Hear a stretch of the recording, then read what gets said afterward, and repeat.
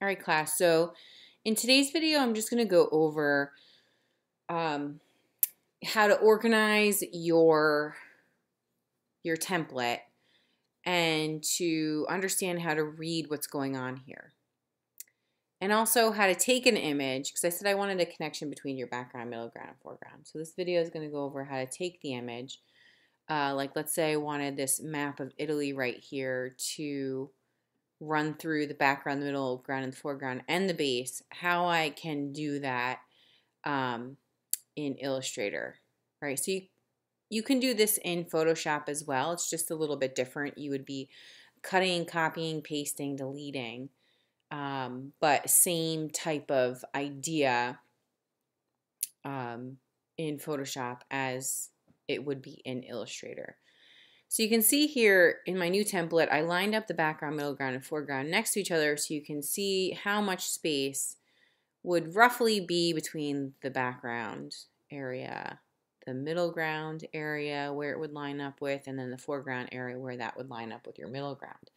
You can obviously change these lines. They're not permanent, but this is my template that I'm giving you to work off of, so you can work off of it. Um, and you can see that I also created um, or added in measurements. So the background is the the the background is four and a quarter inches, uh, and so is the base. So if this was considered the base, right, where we're going to glue our parts, uh, this is also four and a quarter inches. The middle ground is two and three quarter inches to where the fold would uh, would sit all right, right on top of this line. And then same with your foreground. So you've got one and a quarter inches to the fold, which would sit on this line that I've created here for you. Uh, so you need to kind of rework this, this whole, re, uh, you know, create this, this whole image all together. That's kind of your, your challenge here. The first thing that you're going to want to do is if you have a picture that you want to connect from your background to your middle ground to your foreground and your base or just from one to another, um, you want to make sure that you watch this. I'm going to lower the opacity of the picture and uh, work with it that way so I can kind of see through what's going on here. Another thing you want to be mindful of are your layers. So you can see that I opened up my template file and um, and I locked it so that you can't move any of these templates. I created a new layer, and in this new layer is where I'm going to lay out my map. Right, so remember, just like the character design, you want to keep all of your, your layers organized. I might create other layers for pictures, other layers for text, and, and so forth. Um, all right, so I'm going to make one, first you want to make sure the picture fits within all of the space. So you want to make sure that the width is correct, it fits within that space, you want to make sure that the height is correct and that you have enough of a picture to fit within each of those connecting parts. So if I were to start my um, Italy map right at the top of the background, um, you're going to notice that where my fold comes uh, from the top of the background to the bottom, it's right smack in the middle of the word Umbria. So then what I'm going to do is I'm going to pull this over here and I'm just going to make sure that um, roughly where Umbria is, right, wherever it sits, would be at the top of the middle ground. And then I could see that, you know, it would end probably around Oristano or, or in Sardinia, right, that, that city um, on Sardinia, right? So then that city, I want to make sure would be at the top of my foreground. And then the bottom, and I'm basing this on where the fold is because I had no information is going to go within this fold, would be just a little bit above Messina, right, in Sicily. Um, and these like little islands here. So those little islands would start um, like around here on my base, right? So you can see that the picture fits. You don't want to have a picture be too small and then it's not going to fit within all the spaces that you want to create that connection to and from.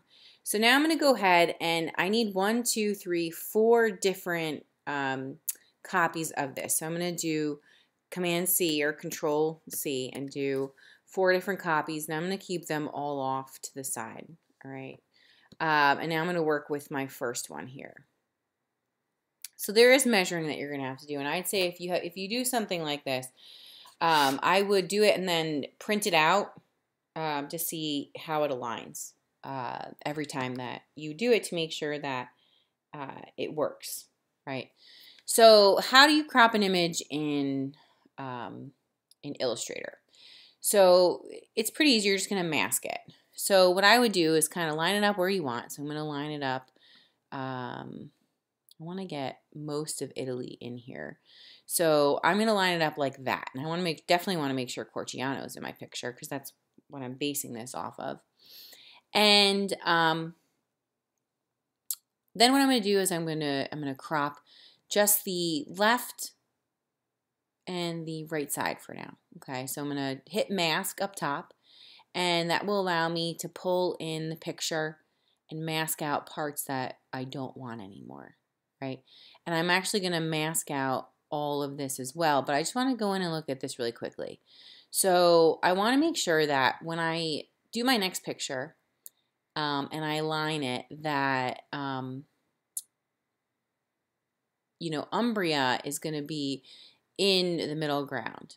Um, so maybe I'll look at stuff that's going on in here. I'm going to say that half the M needs to be, in order for it to line, half of this M needs to be um, up against the middle ground template over here. Now you can you can use your guidelines to help you measure certain things out, right?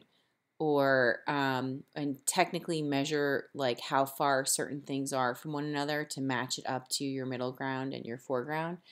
Um, but you know, for the purpose of this, I'm kind of um, eyeballing it right? Um, but you could be very technical with it if you'd like to. It's just going to make it a little bit harder for you. I'm just trying to show you the easiest approach, which would be putting pinpoints on certain things. Like the word Umbria is split in half. So I'm going to see half the word Umbria in my middle ground, and I'm going to see half of this M up against the side of this middle ground template as well. Um, so I'm going to just finish masking this right now.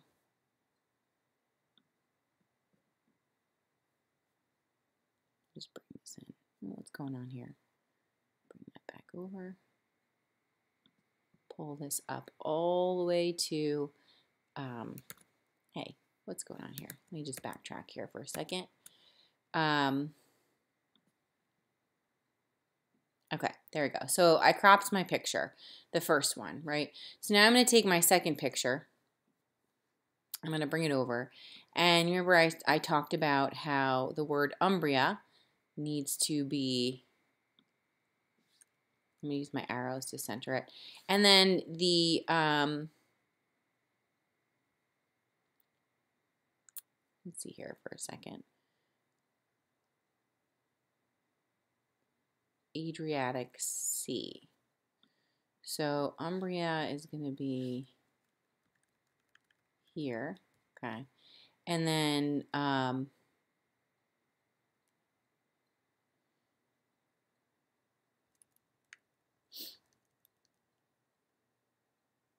this M, right, was supposed to be, that does not look right. Look at Mrs. Dauble here. Um, I'm trying to base it off that M, but it's not lining up now. But the Adriatic Sea, if I were going to, let's see, pull out one of my guidelines, right, um, to where the U in Umbria sits, right, it's about um, one inch it's about one and a half inches, right? So um, what I can do is then kind of measure that again. So I could say it's about one and a half. So that's where um, Umbria should sit. So I'm using this as a, a reference or a marker. It should be, let's see, be a little bit more. All right. So now I know my picture that you, now so that makes more sense is going to be kind of cut in half. So hopefully when I print it out, Adriatic Sea is going to kind of line up correctly. So now when I zoom out and I go to mask it and crop it, right, I'm going to make sure that I pull this in.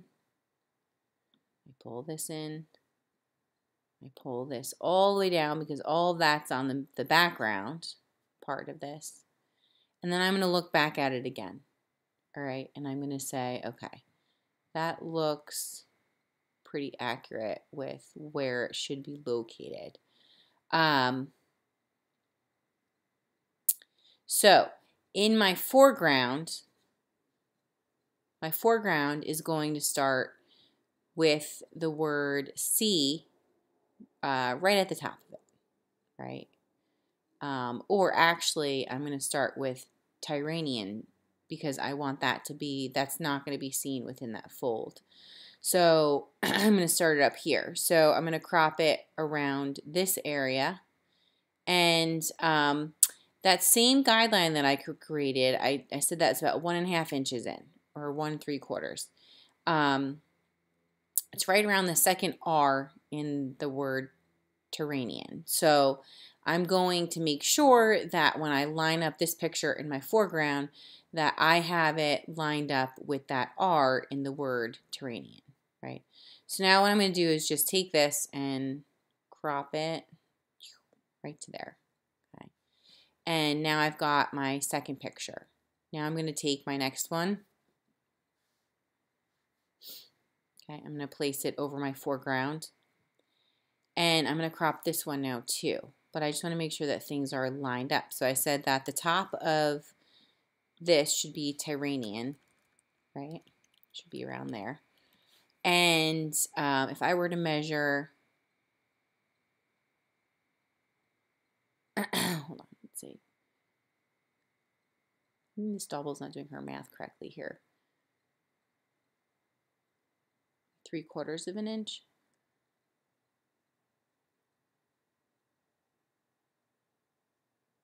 Okay. That should be around where the R is in Tyrrhenian. So that's what I said it should be like. So now I'm going to, I keep zooming in and out, so it's kind of confusing me. Um, now I'm going to take my mask tool and I'm going to bring it down. And that should line up correctly. You can use your guidelines for many things. Like, so for instance, um,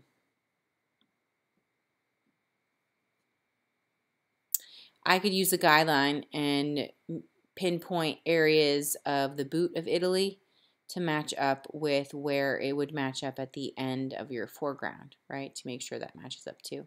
So now I just want to make sure this is going to be a part of the base.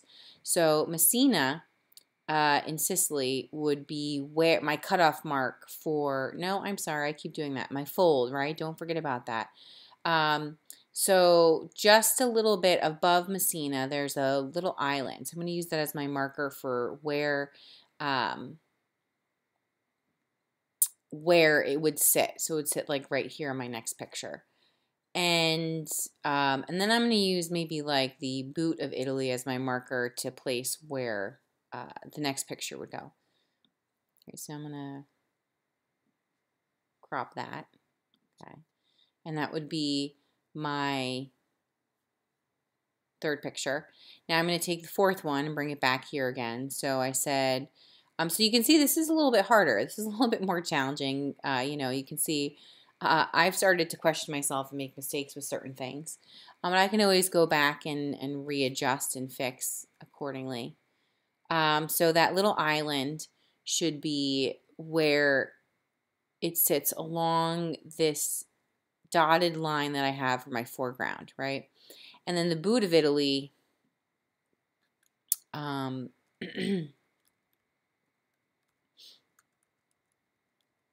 should come out about right there. So if we look at it, that should be where it connects to everything. So now I'm going to mask this. And I might actually just mask this whole thing. So this is like the whole base. So I could actually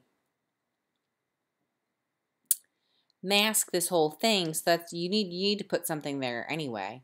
Or I could just have it go all the way down to there and have other stuff happening in here. So it's up to you, but I'm going to leave it like that. So I hope that makes sense. So what I'll do in class is show you, uh, I'll print this and I'll show you my, my copy of this and how hopefully when I go to uh, piece it together, it, it aligns pretty accurately, right? Um, in my, actually I'll show you in this video, so this way it's one, just one big long video that you can watch. um, let's say I wanted the word Corciano. This is a little bit easier actually.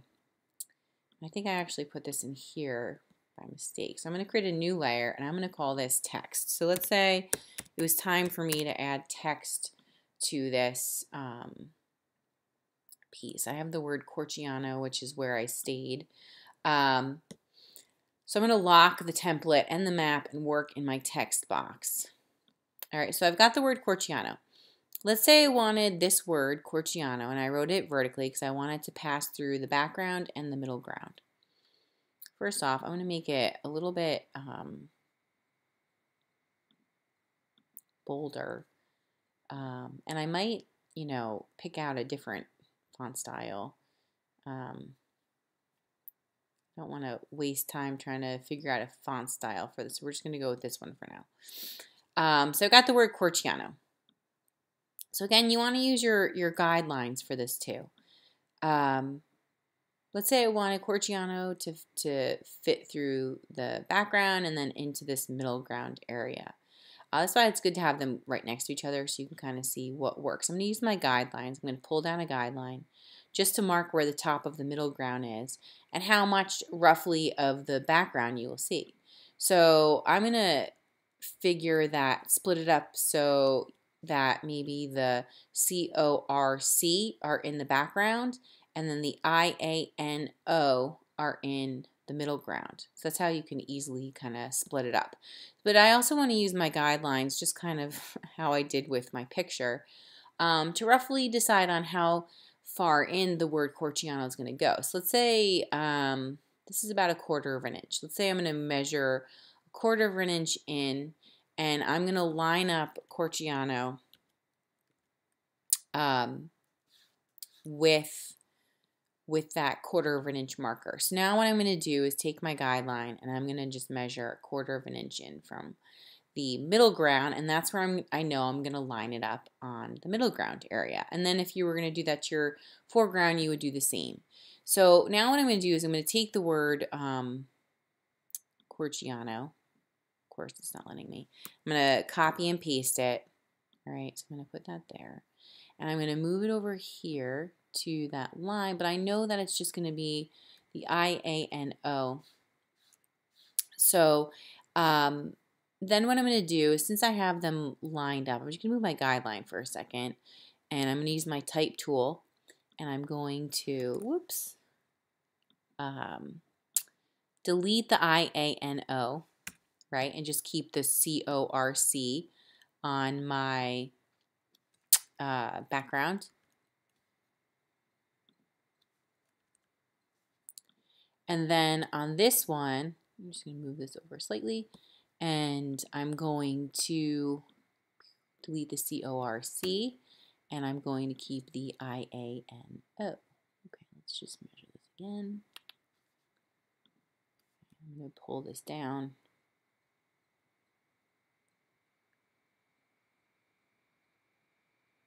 I'm using my arrow tool to do this. Okay. And now I know that Corciano is aligned um, through the background and will, will be aligned into the um, middle ground as well. So that's how you can make connections between things from one to the next as well. And that doesn't just go for text, that could go for objects that you create and bring in as well and you crop them and so forth. And again, this is the same stuff you would do in Photoshop, just uh, a little bit different, but I thought I would share it with you in Illustrator. Um, so once you feel comfortable, you can kind of start getting yourself set up. Um, I am going to put together a tutorial of effects in Photoshop and Illustrator as reminders of tools that you can use um, besides some of the simple ones that maybe we know at this moment. So I hope you find this helpful. Sorry it's so long, but Um,